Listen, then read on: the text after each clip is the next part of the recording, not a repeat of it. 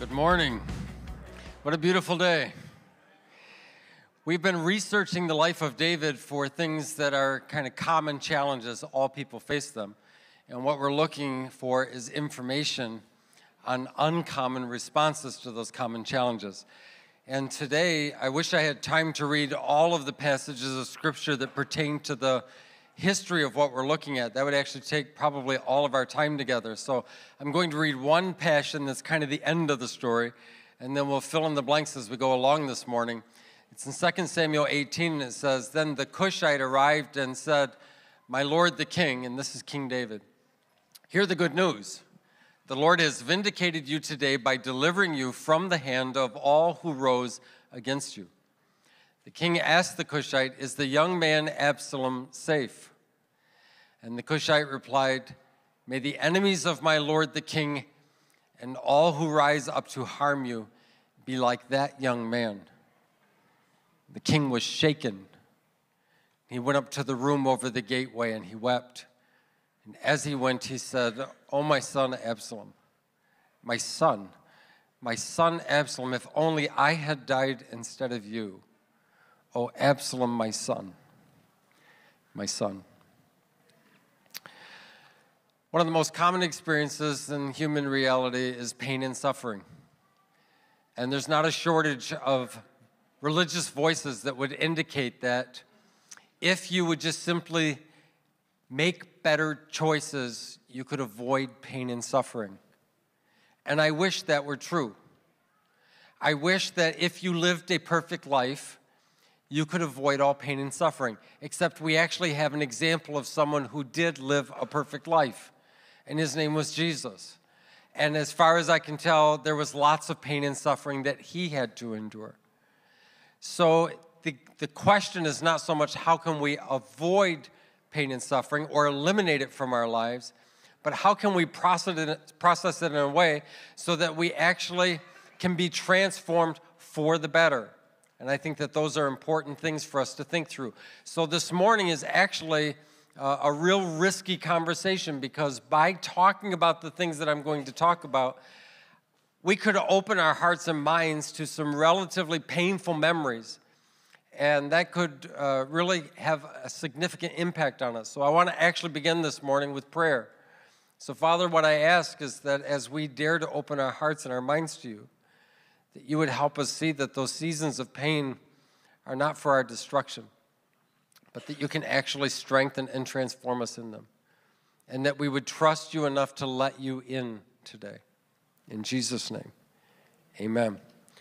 So, Scripture gives us some insight about suffering, and the first is this Biblical, the Bible tells us suffering isn't just fate, it's not like you were destined to suffer uh, all of your life. Uh, it's, it's not about uh, some kind of, you're the most unlucky person in the world. And so uh, some people get all the good things and you just got all the bad things. Now, I have to tell you that uh, pain and suffering is not equally distributed among all people. Um, there are some people who do seem to suffer more than others, but it is not because somehow fate has determined that that is your lot in life. And once we accept that position, we really lose a lot of hope for the future.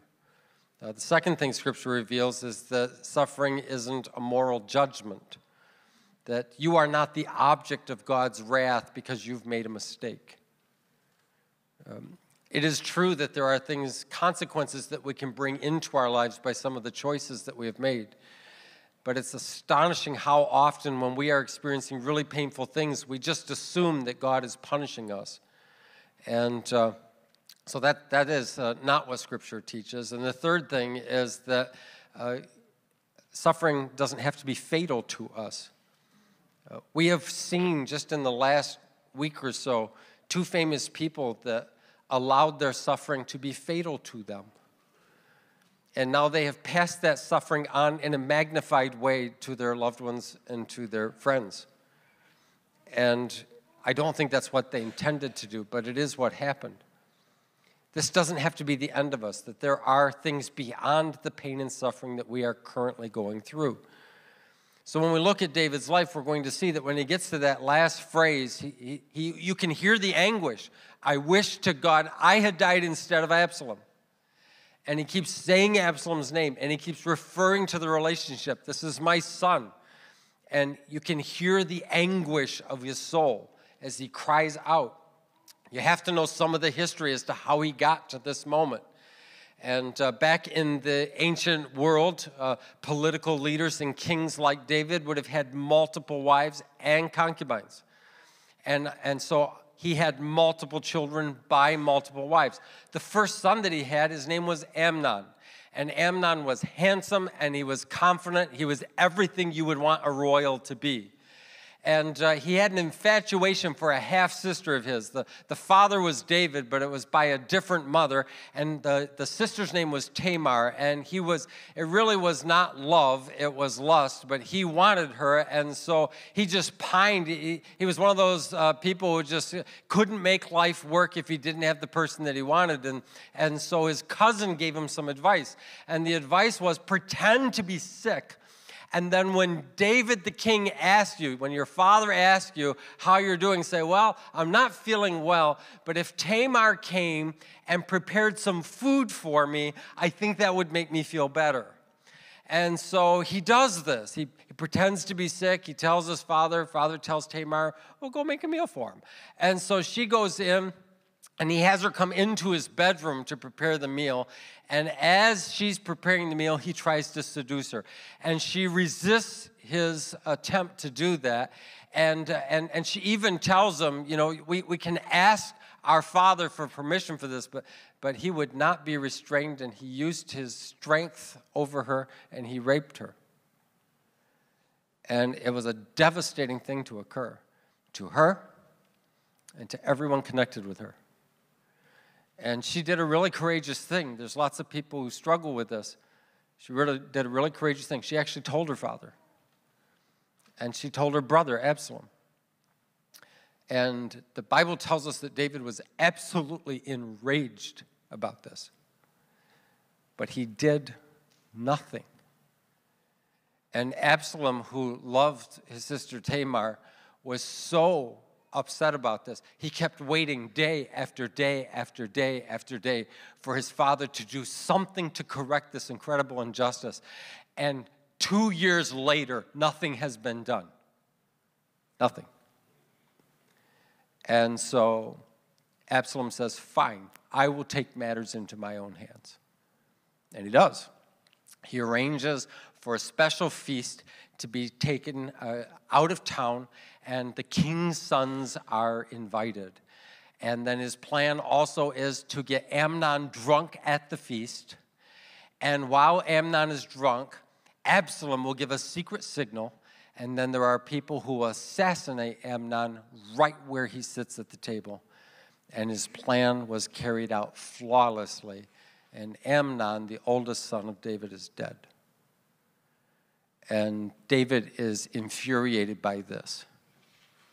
And so he actually exiled Absalom. He had to leave the palace, he had to leave Jerusalem, he had to live someplace else. And that went on for over two years. And after that time, the Bible tells us that David actually longed to see his son again. And there was an intermediary that found a way to bring Absalom back. But when he brought him back, this is what David said about it. He said, He can come back into town and he can be in the palace, but he cannot see my face. And that was the strategy that he had coming back. Well, this is an unbelievable story. And this is the point I want you to see. Responding to suffering by sinning only makes it worse. Responding to suffering by sinning only makes it worse. When we go through enough pain in our lives, it's astonishing how often we think that we have the right to do something that's not right because the other person really deserves it. And, and maybe they've done the same thing. How will they feel when it happens to them? This is a horrible way to live. And this is exactly what is happening. So, so Absalom says, Well, Amnon deserves death for this. And, and he has him killed. And so he responds to Amnon's son, or Amnon's sin by sinning himself. And then David responds to Absalom's son by sinning. And so he loses his first son by the sin of murder, but he loses his second son by the sin of shunning. just removing him from his life as though he doesn't exist. And things just keep compiling. And you have to remember about Absalom is he is a plotter and a planner. He put together a plan for two years to take down his brother. What do you think he's going to do to his father? And he worked on it hard for four years. And he figured it out.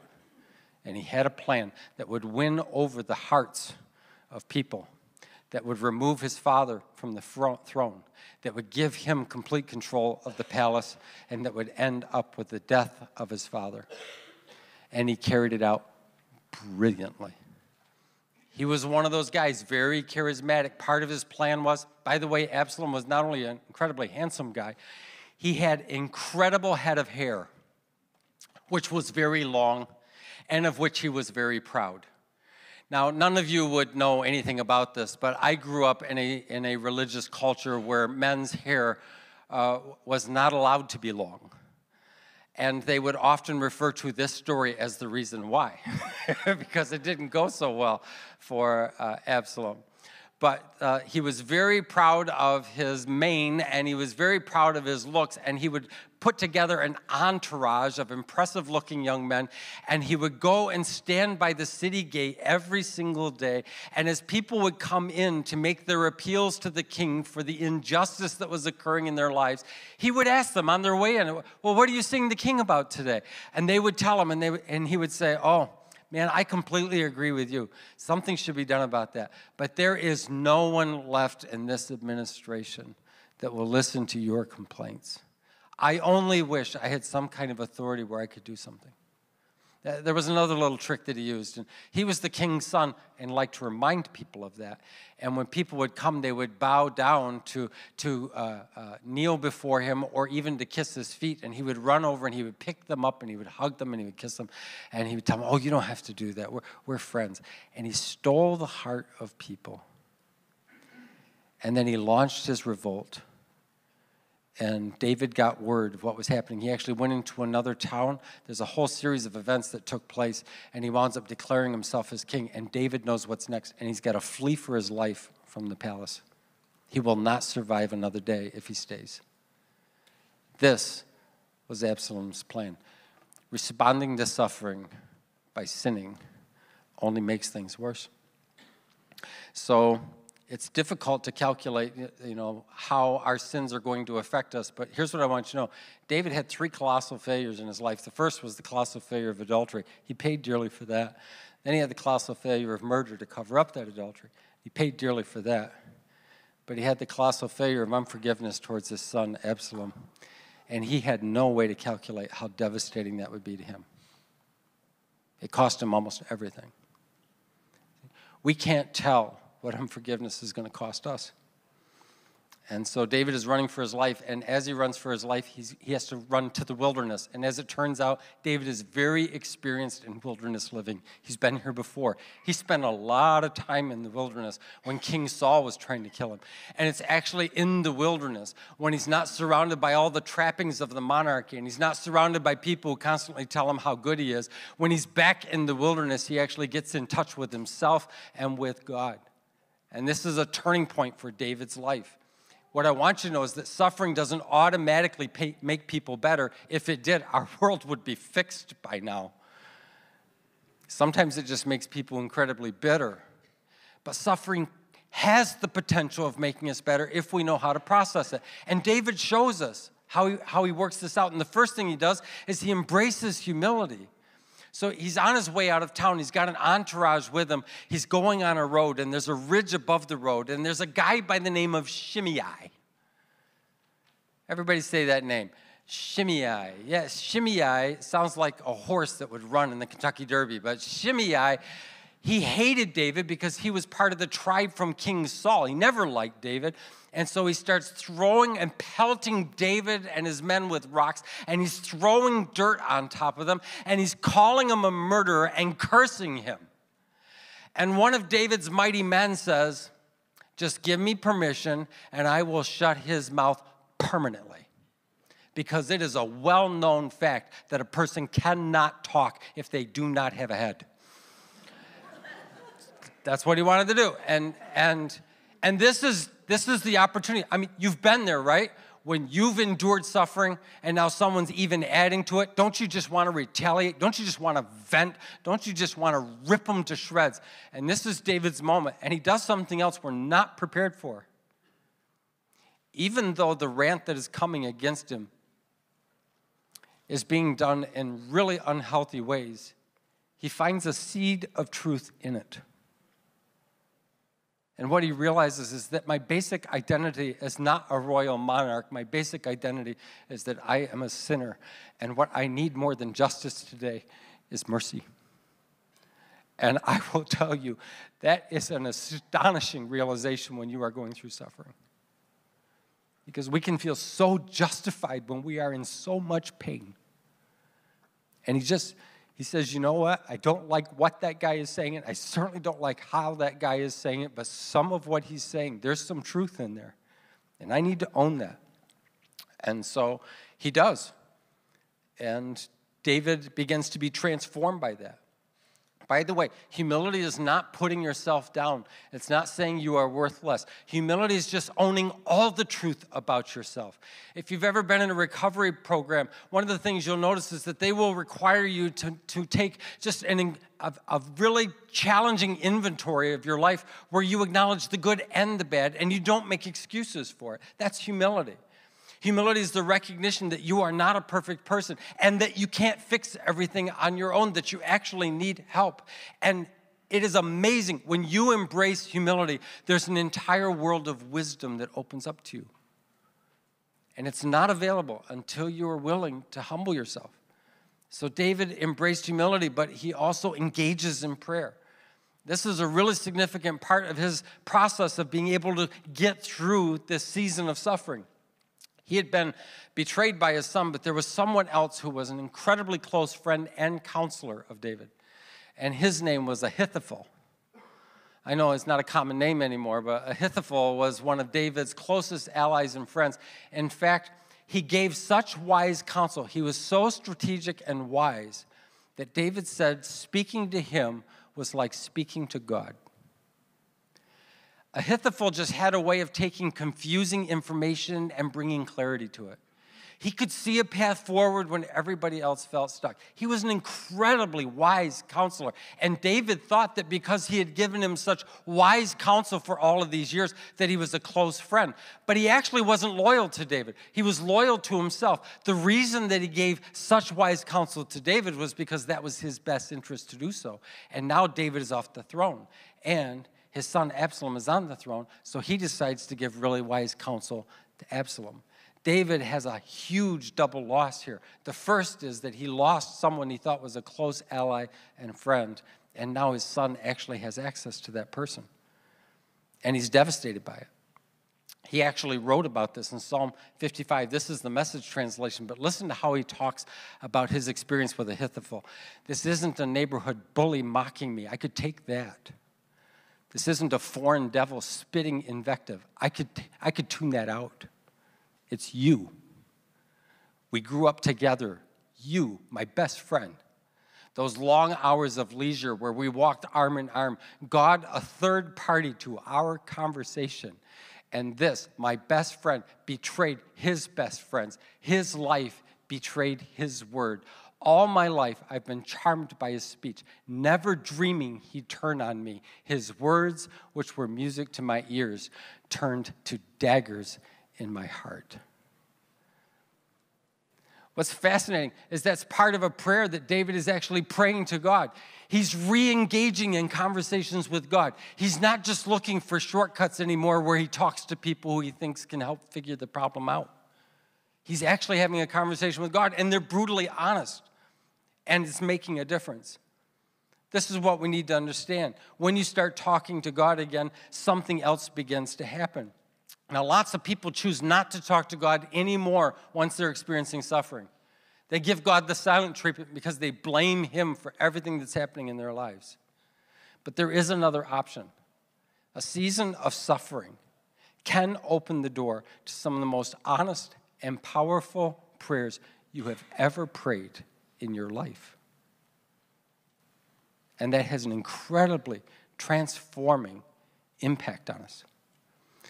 the third thing that he does is he renews his compassion. The season of suffering enables him to embrace humility and engage in prayer and renew his compassion. So, David had loyal soldiers with him. And what lots of people had forgotten by this time of his life is that he had been a seasoned warrior. He was the warrior king. And he was capable of developing incredibly brilliant military strategies. And he put his mind and his efforts to work on this. And he could spot every weakness in Absalom's effort. And he knew how to leverage what strength he had left. And he calculated it all out and he figured it out. And he knew it was going to change. When he was done, he would be back on the throne. So he gave very clear instructions to his soldiers. Listen to what he said to them Be gentle with the young man Absalom for my sake. There's going to be war. It's going to be a civil war. There's going to be blood that flows in the streets. David is going back to the throne. But he tells his generals and his soldiers, Be gentle with the young man Absalom for my sake. This is fascinating when you realize the history here.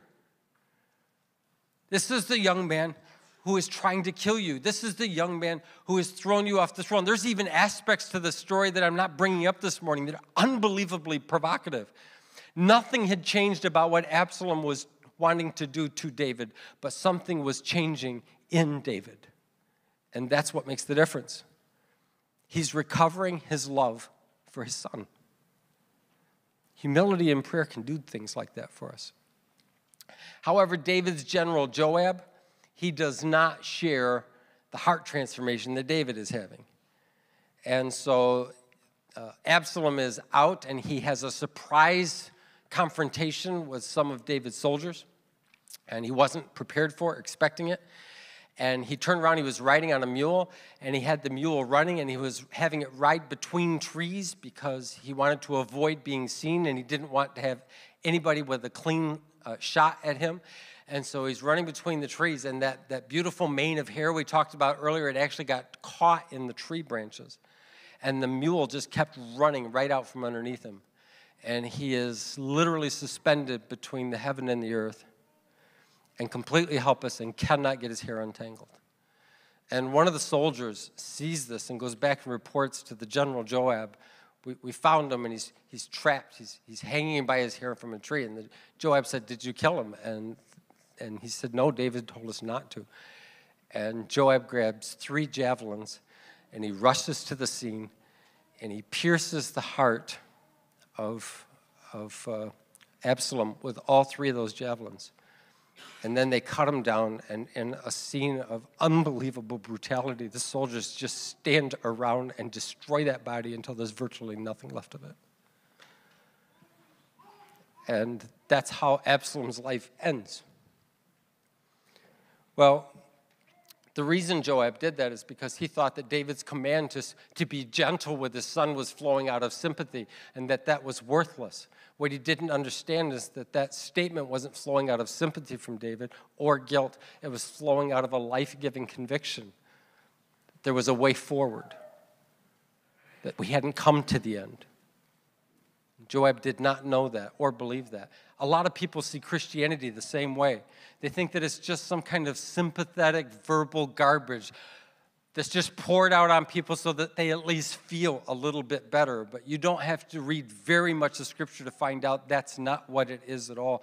Jesus understood the concepts and the power of the things that we've talked about this morning. And so when he was facing his own suffering, the Bible tells us that he humbled himself as a servant even to the point of death, that he asked his father that the cup would pass from him, but not what he wanted, but what his father wanted. And even in the face of unbelievable suffering, he breathes out the prayer Father, forgive them because they do not know what they are doing. He humbled himself and he engages in prayer. And the result is, is that he's able to have thoughts about those who are present and about us that we would never have had about ourselves.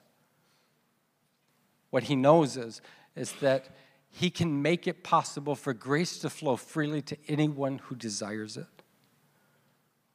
God is not like a hard hearted general. His mercy is still great, His grace is still available, and freedom for our lives is one prayer away. So, when we walk through a story like this, it's really wise for us to ask ourselves what, what kind of lessons can I learn from all of this? And I think that's, that's the beginning point of wisdom. There are lessons to learn. There are things we can learn about ourselves, about the people who are around us, about the circumstances that we're in, about our strengths, about our weaknesses, about our, our value. But we have to ask ourselves really challenging questions. There are lessons to learn. And then, what conversations do you need to have with God about these things? Because some of us just have blamed Him and we've cut Him out of the conversation. And that will not get us where we need to go. We have to include Him in our conversations. And my last question that I would encourage you to ask is who needs to see your face? Because David had said, Absalom will not see my face again, and he didn't. And part of the grief that David is going through after the death of Absalom is he just wanted to see him one more time. Who needs to see your face? I can't promise the conversation will go well. I can promise that you will be stronger if you try. I can promise that something in the midst of the suffering starts making sense. I can't tell you everything gets better. I can tell you you will be stronger. I can tell you that God is with you. I can tell you that His hopes and dreams for your life are far better than anything you would have guessed for yourself. Let's bow our heads this morning.